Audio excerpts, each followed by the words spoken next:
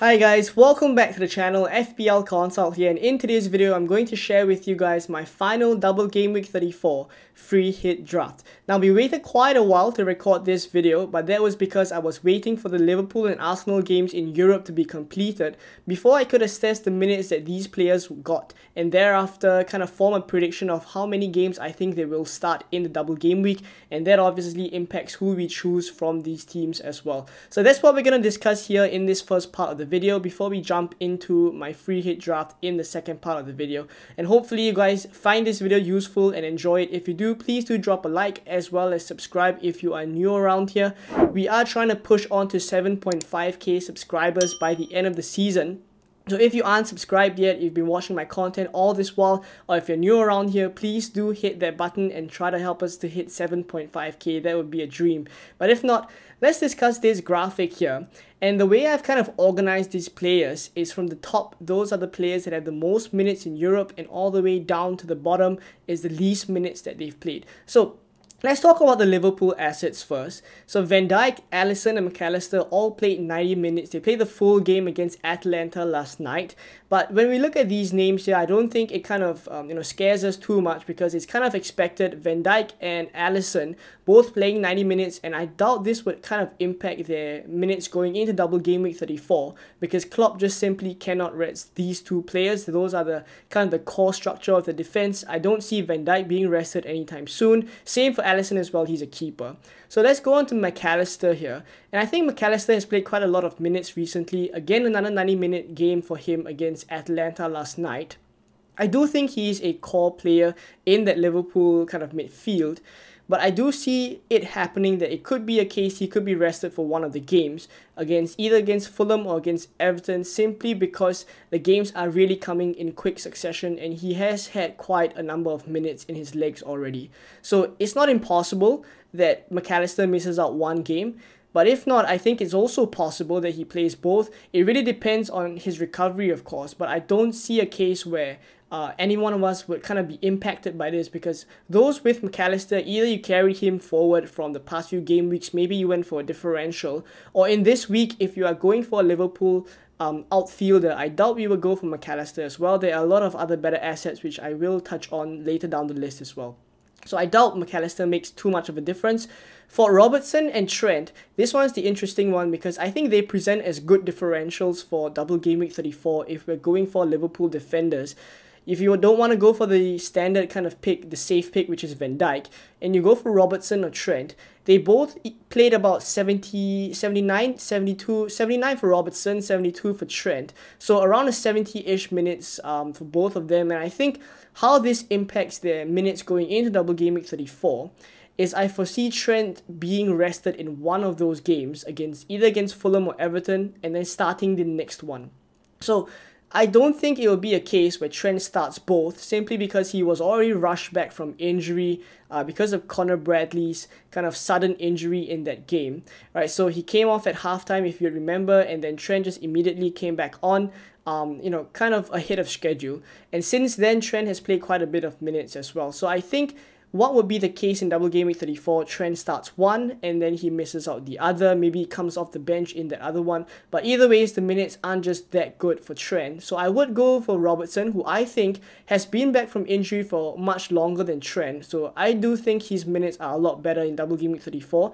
And I foresee him potentially starting both games with the way that Liverpool are kind of set up in the league right now. They have to win every single game to even stand a chance of winning the league. So Robertson, for me, I feel with the way he's playing recently as well, I wouldn't mind going Robertson over Trent as a as a differential defender from Liverpool.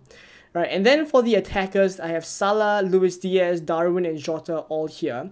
Salah and uh, Salah and Luis Diaz started the game last night along with Cody Gakpo.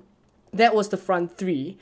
Um, and Gakpo, I, I haven't included him in this list because I don't think any one of us would be brave enough to go for Cody Gakpo. Despite him being, I feel, one of the best players last night for Liverpool. But that aside, because we're not going to go for him in double game week 34, I'll talk about Luis Diaz and Salah. Both of them got 66 minutes. In terms of how well they're playing in, uh, in the base of the eye test, Definitely Luis Diaz, I feel, is playing better than Salah, despite Salah dispatching a penalty last night. And that's because Salah just has been way off the mark recently. He also missed a sitter uh, just before halftime last night. So I think in general, when we look at Salah, there are games where he just kind of disappears from the attack. He just kind of doesn't, uh, you know, involve himself that much, or either he's super isolated from the game. And that's what I don't really like about Salah. But the thing is that he always kind of comes off with a penalty or a goal somehow or rather. So him playing 66 minutes for me kind of makes me feel as if he's definitely guaranteed to play both in the double for game week 34 and therefore I don't think I can kind of take him out of the team. I think it would take a lot for me to go against Salah. Um, so I think for me, Salah would still be in the team. I'm just not super confident of his form right now. He just looks quite off the mark. Um, we'll hope for, for penalties there. For Luis Diaz, 66 minutes for him also kind of makes me quite confident of his minutes in 34 because he, for me, is one of Liverpool's best attackers right now. And him being rested at the 66 minute taken off, I think kind of indicates to me he starts both. So that's why, in terms of going for Liverpool attackers, I would probably go for Luis Diaz and Salah. But then there are two kind of differentials that you can go for further down the list which is Darwin Nunez and Jota. Both of them didn't start the game last night. They came off the bench for Luis Diaz and Salah respectively and played 24 minutes. So what this kind of indicates to me is that they're pretty well rested for the double game week. But that said, I do think that the front three would still be Luis Diaz, Salah, and then one of Darwin and Jota for either of the games. And that basically means I feel that Darwin starts one and is benched the other, and same for Jota as well, who is just coming back from injury. So I think in terms of minutes, I am expecting that Darwin Nunez and Jota get both around about 100, 120 to 100 minutes. So I don't think that that's going to be super. That's not going to sit well for a number of, uh, of FPL managers who want to go for the safe minutes kind of players. So therefore, I think Salah and Diaz are the ones I would go for because I'm kind of the FPL manager where I want to kind of uh, go for the safer picks. More minutes kind of means that there's a higher chance that they that they get an attacking return. So i probably go for Luis Diaz and Salah from Liverpool, and I don't think I would go for Darwin Nunez or Jota on a free hit. Now, for the Arsenal players, Odegaard, sorry, Saka, Odegaard, Havertz, Gabriel, Saliba, Ben White, and Raya, all of them played 90 minutes. So essentially what I have here is the back line, Gabriel, Saliba, White, and Raya, as well as the front three that most of us usually consider, which is Saka, Odegaard, and Havertz. So they played the full game. Further down the list, Martinelli came off for Jesus, um, and, and they kind of played, uh, Martinelli played 67, Jesus played 23. In terms of Arsenal players, I think a lot of them look very, very leggy. And that kind of puts me in a situation where I think I need to make a choice, right? Already you have to choose between going double defense or double attack for Arsenal. I don't think either one of us, I don't think any one of us would be going for triple defense or triple uh, triple attack. So in terms of the attackers first, I think there is a chance. I mean, Saka and Odegaard are pretty much guaranteed to start both games in 34, but I was thinking of a differential like Havertz here, but looking at the amount of minutes he's played recently, it is a lot. Already over the weekend, he played the full game, and then now um, in Europe, he also played 90 minutes. I foresee that someone like Gabriel Jesus could fill in in the number 9 spot in the false 9 position that Havertz has been occupying.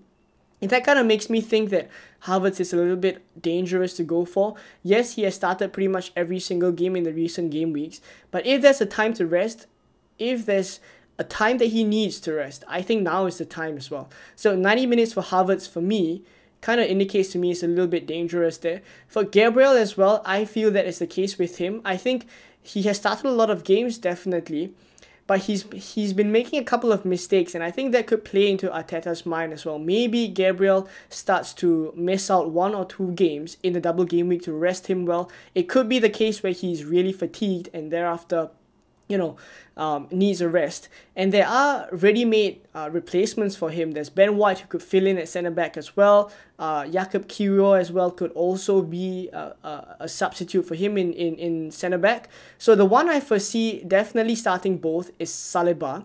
And I think Ben White for me is also someone that I would see starting both the double game week games because he came off early uh, in the Aston Villa game. You would remember that he came off before Arsenal conceded two games against Aston Villa. So I think for me, in terms of defenders, the minutes that are safest is probably Saliba and Ben White. I'll put Gabriel as a slight risk to kind of be benched. There's obviously a case he could play both games, but I think he's a, he's a little, a little bit more at risk. And then for Raya, 90 minutes, no issues there as well. He's just a keeper. And for Martinelli and Jesus, Martinelli could be coming back into the team, but I think when we're going for double game week assets, with the way that uh, Arsenal has been rotating Martinelli recently, I don't think we'll be brave enough to go there. Same for Jesus as well, who has been missing out some games here and there. They're kind of managing his uh, little knock that he has complained about recently, where he kind of put out on social media that he's been always playing through pain of late. So there we go with the minutes here. And as I've mentioned, this, was, this would definitely have an impact on how we choose these players going forward into uh, the free hit draft if you're building a free hit for 34 or if you're making free transfers as well. So hopefully this graphic was useful for you guys. Let's now take a look at the draft that I've made after considering all these minutes that the Arsenal and Liverpool players have played in Europe. So after tinkering for one whole week, this is a draft that I've arrived at in terms of my final double game week 34 free hit draft. Now again, I've reverted back to a 352. I initially uploaded an earlier video and it was also a 352, but to be honest, between this period, I have gone back and forth between a 343 and a 352 and Cunha, who's on the bench right now, has come into my draft a couple of times, but right now he's on the bench and I will discuss in general why this is the case as well. Um, but for now, let's take a look at the draft in general here. And I've gone for triple Arsenal, triple Liverpool, as well as triple um, Crystal Palace. And then I have Brereton Diaz as well as Solanke uh, in as the other two players. So three from each team in terms of Palace, Arsenal, Liverpool, and then Brereton Diaz and Solanke. So there are quite a number of, I guess, picks that could be quite different from some of you guys. So I'll talk through why I've gone for them. And let's start at the Arsenal triple up. So I've gone for Saka, Ben White, and Raya. So I've gone for one attacker, and two defenders. So instead of going for two attackers, the reason why I've chosen two defenders is simply because of the fixtures here, as well as how Arsenal are playing right now. I don't foresee them scoring a lot of goals against Wolves away or Chelsea at home, right? So therefore, I would be more confident, at least that's that's based off my own judgment, that I'm slightly more confident of their clean sheet potential because over the course of the season they have shown themselves to be a very very strong defense and I don't think the game against Aston Villa changes that too much. They really only conceded those two chances to Arsenal uh, to to Aston Villa. Um, and obviously at this point in time when we're talking about Arsenal defenders, Gabriel will be the one most people go for. Saliba is also a decent option, but I've kind of chosen to go slightly different here. I've gone for Raya and Ben White. So the reason why I've gone for Raya first is because there's not a lot of good keeper options here this week. You could go for Jordan Pickford, you could go for um, you know, uh, Henderson from Crystal Palace. But for Crystal Palace, I prefer Mitchell, who I will discuss later on as well. So I've already covered the Crystal Palace defense. So that really only leaves someone like Pickford, maybe Jose Sa, but Jose Sa plays Arsenal at home in the first game uh, and Bournemouth at home in the second one. So maybe that's just kind of a one clean sheet game for for Jose Sa at best. So I think for me, if I really want to maximize the points on my free hit, I would just go for good players in all positions. And I think Raya as my Arsenal cover there uh, in goal kind of gives me good potential for points there as well. So Raya there. The reason why I've chosen Ben White over someone like Gabriel or Saliba is because firstly, when I compare attacking threat of White and Gabriel, it's much better than Saliba. So Saliba's out of the question for me. And when I'm comparing Ben White and Gabriel, as I mentioned in the previous section, I feel like Gabriel is a slight risk. He could be rested in one of those games because of how many minutes he's played. And Ben White coming off against Aston Villa around these 60-ish minutes um, kind of indicates to me, as I've mentioned, he would play both in double game week in 34. And there is also very decent attacking threat from him in open play because he plays on the side of Saka. He's gotten a couple of assists just by passing the ball to Saka and Saka just going all the way, dribbling all the way and, and scoring. So Ben White, of course, he has a pretty decent cross in him as well. Um, and of late, we've been seeing it. So I do like that Ben White's attacking threat is kind of, uh, you know, okay in terms of comparison to, to Gabriel. So I'm okay to go for Ben White there. um, and that is the Arsenal triple up. For the Liverpool triple up, I've gone for two attackers instead of two defenders. And I think that this one is for obvious reasons. Liverpool defensively have looked really, really shaky, and both of their games are away games. So it's Fulham away and Everton away uh, Fulham have been playing very, very well at home. So I do foresee that Liverpool will concede in that game. And against Everton, despite the way that they've been playing right now, it's always a tough game when it comes to the Merseyside derby. So I'm really only confident of starting one Liverpool defender, which is Virgil van Dijk. I've chosen to go for the safer option. I could very well switch Van Dijk out for someone like Robertson closer to the deadline. And for now, I think I'm going with uh, the, the safety of minutes here with Van Dijk. Um, and he does have a decent uh, threat from set pieces as well. Now, for Salah and Luis Diaz, as I've mentioned, I think they're the attackers that I will go for from Liverpool. As I've mentioned in the previous section, they are the most secure for minutes. And Luis Diaz looking really sharp right now. I think he hasn't left my draft um, in uh, this whole week. I know some people are kind of considering maybe leaving out uh, leaving out some Liverpool players because of the form that they're in right now, but I still think Luis Diaz, based on the eye test, looks really good. So he's still in my draft. For Salah, he has the armband right now, but that's simply because he always he, it's just in my mind he just always comes away somehow with a return despite him being very uninvolved in games. And when I compare to Saka, who I already mentioned, I don't feel Arsenal go- are going to get a lot of attacking returns in those two games. The Fulham away and Everton away game is definitely better in terms of attacking um, for Liverpool. So that's why I've kind of put it on Sal- Salah for now and not Saka. It could very, very well change, but it would pretty much be either of these two players. Right, and then uh, in terms of the Crystal Palace triple up now, I've gone for Mitchell, Eze, and Mateta. So Mateta and Eze have not left my squad um, this whole week. And that's simply because I really like the way that they looked against Liverpool. And I think in the weeks before as well, Mateta looked really sharp. For Eze, he is the standout pick from Crystal Palace. Um, he's already risen in uh, 0.1 in price. A lot of people are moving for Eze. He's on penalties. He's really good from open play. Kind of uh, justifies himself there. So for me, it's a real question of whether I wanted to triple up on Crystal Palace. And I think in terms of going for Mitchell here, I do get the good attacking threat here um, because we already saw against Liverpool that Mitchell got an assist. But a lot of people are going for Munoz, who's on the other uh, flank in terms of a wing back. But I actually prefer Mitchell's attacking threat to, to Munoz. So I've kind of gone for a slightly differential Crystal Palace defender here in Mitchell. But already having him or Munoz would would still be a, a differential either way. So you could go for Munoz if that's the player you prefer. I've chosen to go for, for Mitchell. And the reason why I like their fixtures is because it's both home games.